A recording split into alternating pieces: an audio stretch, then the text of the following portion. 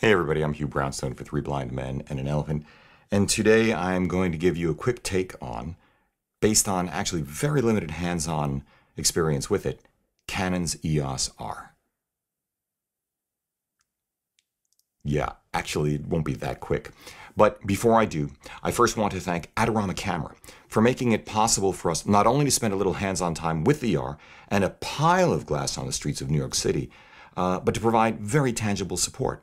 So, shouts out, and again, big thanks to Danielle, Fernando, and Maria. Oh, yeah, okay. Second, uh, some quick housekeeping as we prepare to head out to Europe next week for our Photokina adventure. Uh, I want to remind you that right after we return, we'll be doing our first ever photo walk. That's going to be on October 6th up on the High Line in Manhattan. It's free. I think it's going to be a lot of fun. Uh, there are already a bunch of people signed up who we're looking forward to meeting, and we encourage you to join us. If you like what you've seen here today, please give a thumbs up, share, and support us by using our affiliate links down below. We thank you for that. And if you've been visiting with us, if you've been watching us for a while now, and actually love, I think that's the criterion, what we do, I invite you to join us as a patron of our work over at patreon.com slash Hugh Brownstone. Okay.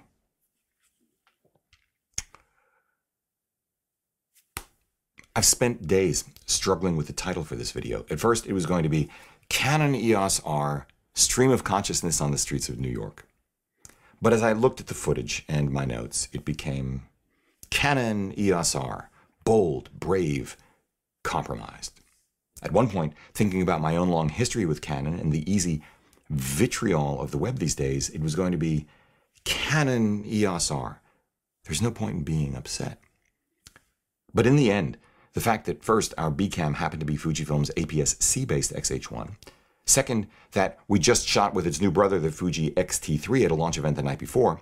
And third, that we're actually taking a pair of Micro Four Thirds cameras with us to Photokina, the Panasonic GH5 and G9, led me back to the overarching issue of price and timing, which was essentially what I covered just a week ago, days before the official Canon announcement, in another video titled Canon EOS R, the one big question ahead of the official announcement. I'll put a link to that video down below in the show notes, and I encourage you to view that first if you haven't already seen it, because mulling over it again and again, I think I was right. In the end, it's all about price, beginning with the R's body only price of 2300 bucks. But of course, price needs to be placed in context. So let's get into the details. At the end of which I think the central role of timing will be crystal clear, as will paradoxes. So, one, dual pixel AF is all that in a bag of potato chips, especially with the new R lenses. Super smooth, seamless actually. Coming from even the Sony a6300 uh, and the Panasonic GH5, I actually, literally, laughed out loud when I saw how good the dual pixel AF was. Tracking works great. Okay, it works great. Except when it wasn't, because dual pixel AF is not infallible, no system is, and though it is arguably the best system out there, the gap is closing. Sony's Eye AF in continuous focus mode is unmatched by Canon. Uh, for the moment, anyway, I hear that an update will come soon via firmware. I was surprised by how well the Fuji X-H1 did.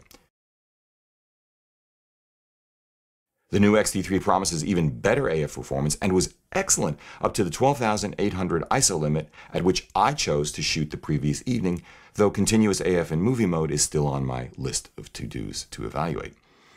Uh, I haven't had a chance to go hands-on with a Nikon Z, so unfortunately there's nothing I can say about its AF performance at this point. I hope we can make that change soon. Two, the R lenses look and feel superb in a 21st century way. They are lighter, faster, smoother, and quieter than virtually all of Canon's full-frame EF lenses. They are sharp, they are crispy. But while the 35 1.8 and 24 70 f4 are image stabilized, relatively small and moderately priced at 500 and 1100 respectively, the 51.2 and 28 to 72 are not. They are big, heavy, and expensive. Uh, 2300 at just over two pounds for the 50, and even three grand at just over three pounds for the 28 to 70. Unless you intend to shoot both on a tripod, you are giving up a lot by not having IBIS, and it has to be asked, why on earth would you want to shoot with these kinds of lenses on a tripod? But if you don't use a tripod, how long will you actually be able to use them? How long will you be able to hold them? Call this paradox number one. The new R line has very fast glass for low light performance, which cannot find its fullest expression in the IBIS-less R for which it is designed. Hold that thought. While we're at it, let's place mark the prices and weights of the full frame equivalents from Fuji. The XF 16 to 55 2.8 we used on the XH1 sells for a thousand bucks and weighs in at two and a half pounds. While the XF 35 1.4 is 550 at less than seven ounces, and the XF 56 1.2 is 900 at just under a pound. These are excellent lenses, although it should be pointed out that these are the full frame equivalents when shooting stills on the R. When shooting in 4K video, yeah, hold that thought too. Uh, let's remember that while none of these particular Fuji lenses is image stabilized either, the $1,650 XH1, actually 1950 with the optional battery grip, which if you shoot video, you'll definitely want, does have excellent five-axis sensor-based, not digital, sensor-based IBIS. Now, pop quiz. Which camera captured which screen grab with which lens, and why do you think so? Please post your comments down below.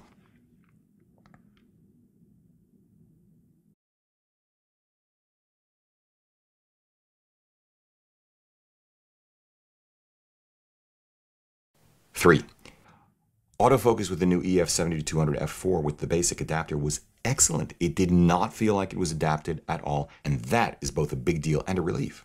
If that kind of performance across the entire line holds, because while you can adapt your Canon EF glass to Sony, Fuji, Panasonic, and others, I've never found an adapter or focal reducer on any camera body, other people's comments notwithstanding, that worked nearly as well as native mount glass. But not all lenses are created equal when it comes to autofocus and adapters, which has led Sony, Fuji, and Panasonic to build out their own lens lines. Call this paradox number two.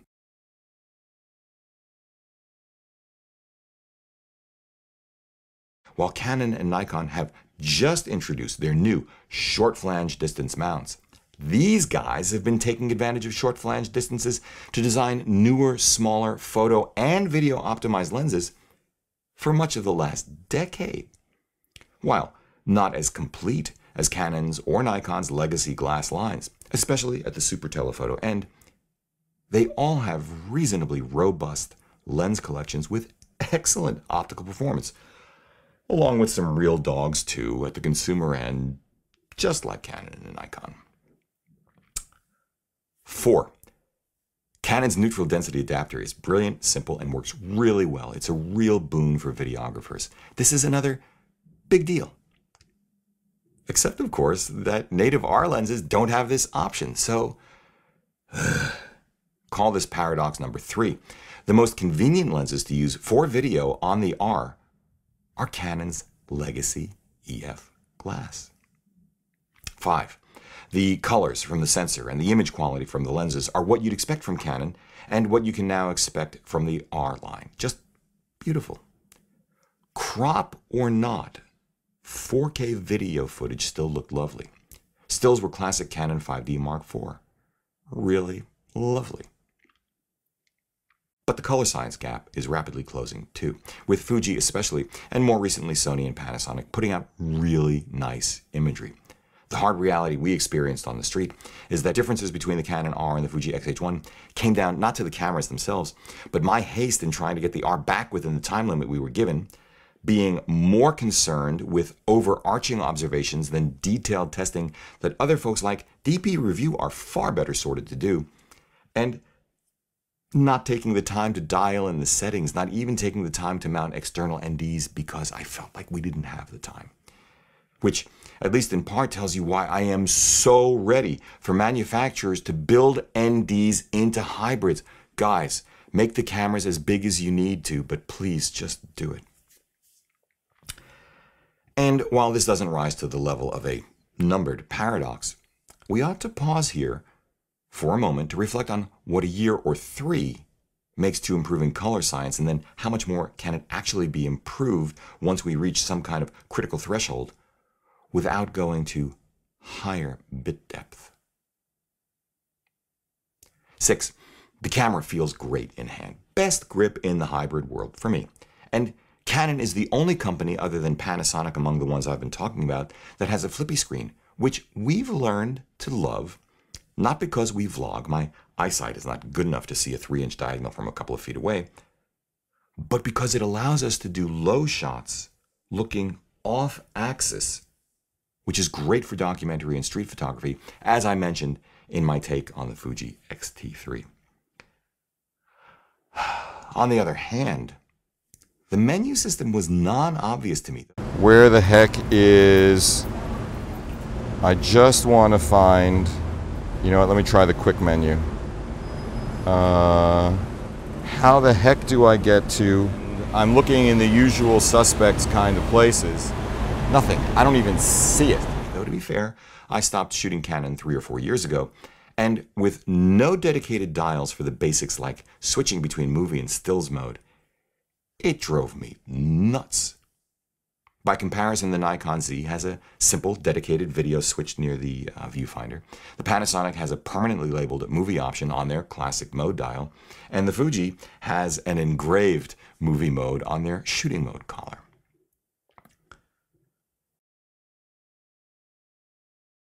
I guess this is what happens when camera manufacturers place unprioritized customization above the basics.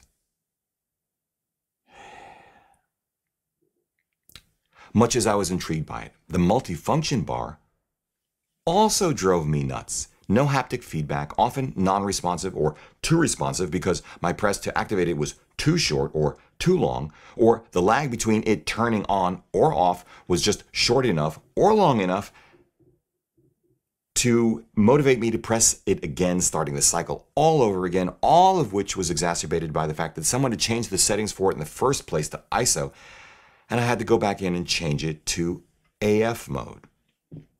I ended up simply giving up, given our time pressures, but I would not give up on the multifunction bar quite yet. Hold this thought as well. The thing of it is, with the multifunction bar, the new mode button dial which is pretty much straight from the Leica CL. The novel, curiously underutilized on-off dial and new customizable lens ring ergonomics are sufficiently different from that of traditional Canon DSLRs that they will require significant remapping of current Canon shooters' deeply ingrained muscle memory. Call this paradox number four. Another huge value proposition of the R is that Canon shooters won't have to learn a whole new system Yet the relative pain of going to another camera system is lessened because you have to do a lot of that anyway, at least at a physical level with the R. In fact, I'd say, and I well recognize that this is a personal preference and reasonable people may disagree, both Panasonic and Fuji offer superior ergonomics.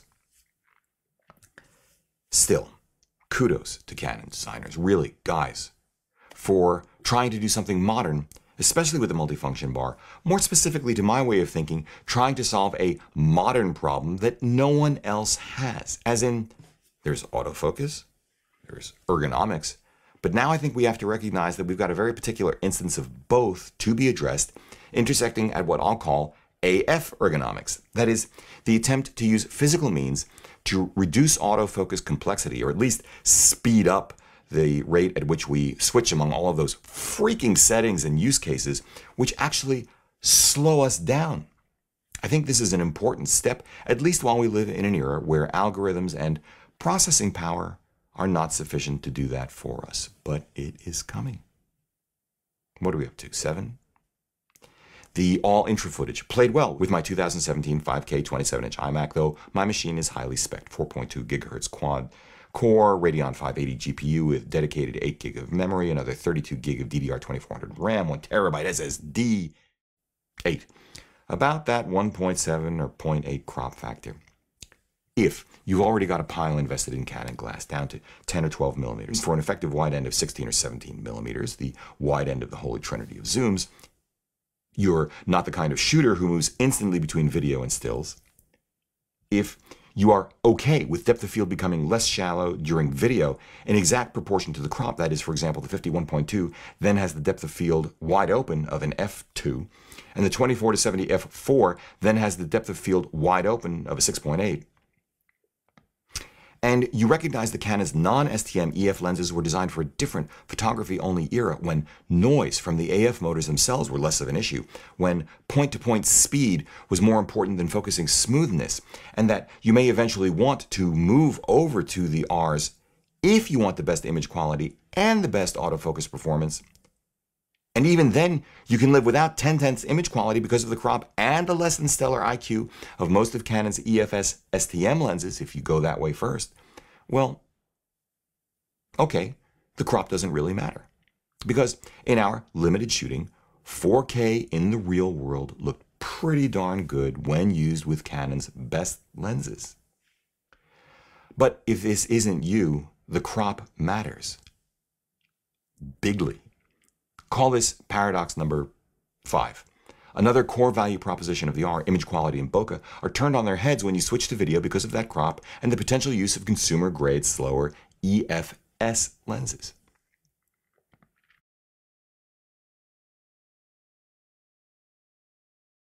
Nine, if you don't intend to use the R for run and gun one man operation, don't mind using a gimbal when you want dynamic motion don't intend shooting handheld stills at shutter speeds more than one or two stops under the reciprocal rule, or are simply a tripod shooter, the fact that it doesn't have IBIS will not be much of an issue for you. As long as, and I mentioned this earlier, at least your lenses are stabilized, though when you're shooting on a tripod, you typically don't want lens IS turned on anyway. For everyone else, though, this is a huge issue as 2018 comes to a close. IBIS is a brilliant technology, actually more important than lens quality and sensor quality when you're shooting handheld at low shutter speeds, even high shutter speeds when working with long glass. I'm going to repeat and refine that, and feel free to disagree respectfully in the comments below. IBIS is more important than a good sensor, the size of the sensor, or good lens under many, if not all, circumstances. As for those folks who assert optimal lens IQ is best without IBIS, I understand that may well be true in the lab or according to the software tools used to help design lenses, but out in the real world, I think this is, for 99.9% of us, 99% of the time, simply irrelevant. IBIS makes more of a difference. You can check the stats yourself. Yeah, no, you can't. That's called creative license. You get the point. I'm not saying every photographer needs IBIS. IBIS is less important for still shooters than it is for video shooters, for example. If you're a pro sports or wildlife photographer using a monopod with a high-end gimbal, I get it, you don't need it. And I didn't need IBIS on the X-T3 to shoot at 1 500th of a second, 1.2 at ISO 12800. But I'd rather have it than not, given what else I do. And if at some point you do want beautiful, fluid, dynamic shots with a gimbal, you're talking somewhere between 500 and 1000 for a Crane or a Ronin S, say, bringing the body only price properly kitted out just for that kind of shot to call it an even 3 grand, maybe 3500. But then you also have to carry that sucker around with you. And this is not the kind of thing Claudia and I are willing to do for Photokina, for example, where the IBIS in the Panasonics is so good that we can easily live with the difference compared to a dedicated gimbal. Our dedicated gimbal has been sitting on the shelf ever since we got the GH5. Or if we can't, this is interesting. There's always an iPhone with a $140 DJI Osmo Mobile. I'll put a link down to a video we did a while back using just that setup, though to be fair, Claudia is one heck of a gimbal operator. So, Yes, let's call this paradox number six. The basic premise of hybrid mirrorless cameras being dramatically smaller and more feature rich for motion, and therefore usable under circumstances where larger, more complex, or simply more noticeable cameras are not, is questionable with VR. 10. If you don't intend to shoot 10 bit 422, if you don't intend to shoot video beyond 30 minutes, if you don't intend to shoot beyond the capacity of whatever single card you put in the R, if you are sanguine about your workflow in the event of a card failure, then the R's uncompetitive specs on these things won't be much of an issue for you. For everyone else, these are significant issues, especially considering that they then have to add in the cost, weight, and unwieldiness of a whole setup. They, I'm just going to say you, you'll be adding an external recording monitor and likely a cage to go with it because attaching a 7 inch recording monitor, even a 5 inch one, with the additional weight of those batteries and expecting it to remain secure and tightly affixed to a hot shoe is a gambler's bet. And we're talking at least an additional grand, bringing the body only price properly kitted out to 3300 just for that. We'll call this part and parcel of paradox number six, but note that now we're actually talking not 3300 but at least four grand, probably more, because a single handed gimbal becomes too unwieldy or doesn't have the load capacity to get the recording time and motion shots you want. In 2018, this is simply not competitive with other much less expensive cameras, most notably the $1,700 Panasonic GH5 with its outstanding full readout 10-bit 422 internal video without recording limit, dual SD card slots, class-leading IBIS, excellent ergonomics, flippy screen, 3.7 million dot EVF, and even with its crop sensor, offers superior video quality and surprisingly close stills quality at normal print sizes and viewing distances. And then Again, we still have uh, up on our wall a 27 inch by 40 print that we made from an image captured on a Fuji X-T2 JPEG straight out of camera. It was shot with the Acros film simulation. That reminds me of nothing so much as medium format even when I'm nose to nose with it. Noiseless, rich tonality, mind blowing actually. The Fuji X-H1 uses the same sensor and as I said, does have IBIS, but it doesn't have the same level of video capability of the GH5 or the R, nor the X-T3, at least as measured by codecs, bit depth, and bit rates. But for people like me, especially when the distribution medium is YouTube, those advantages evaporate. Though, by the way, moving from 1080p to 4K is more important than having the best glass, as long as the glass you have is good. I'll say this again too. Moving from 1080p to 4K, even if that 4K is then downsampled to 1080, is more important than using the very best glass or having the very best sensor. 11.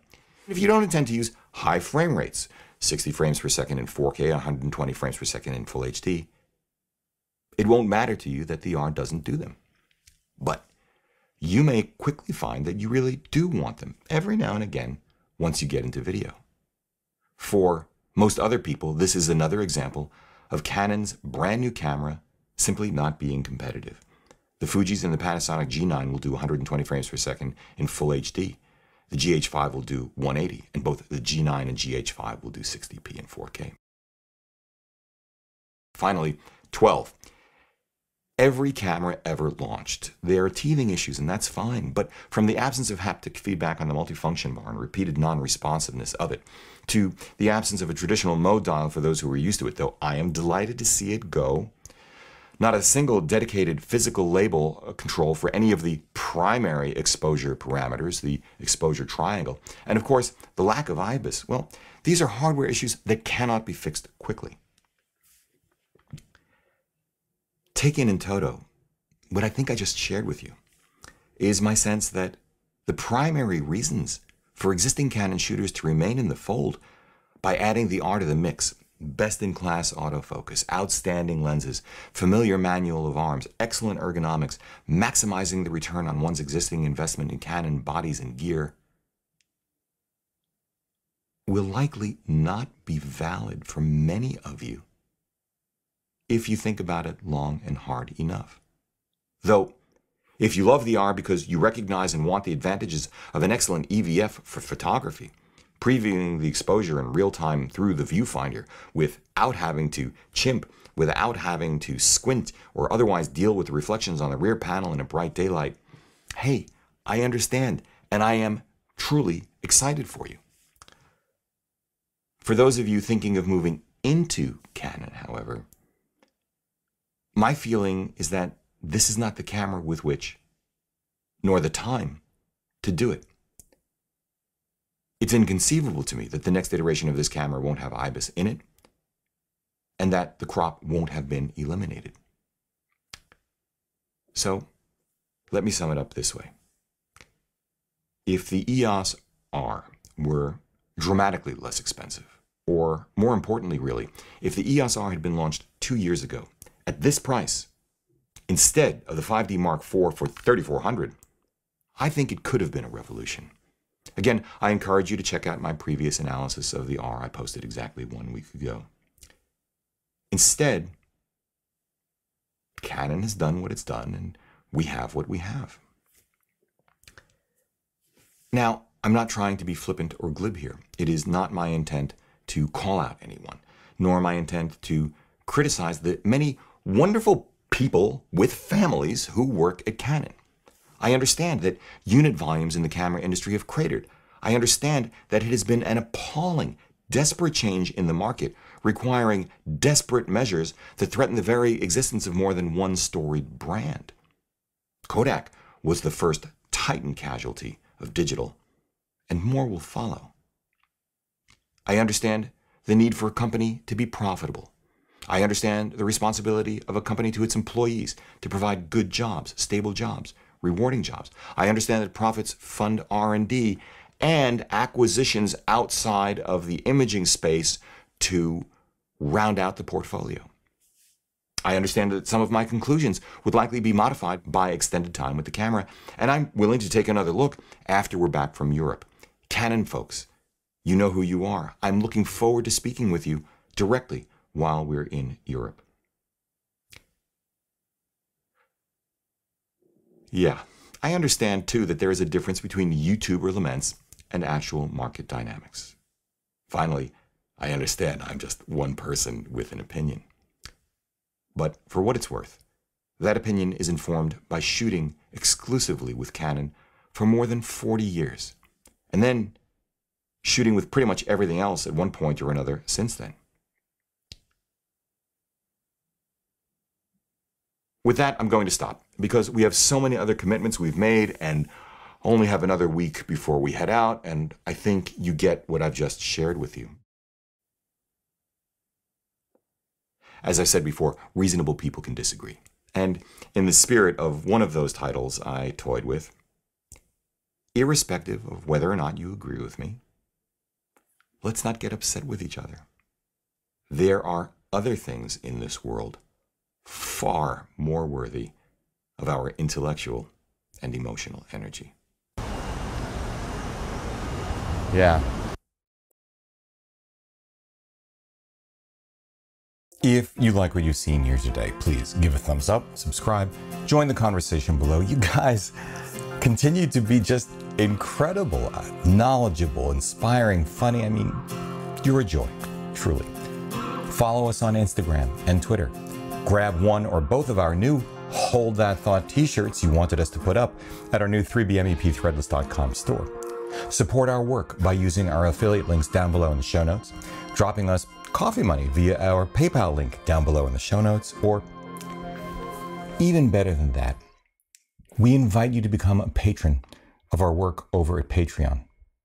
Link down below.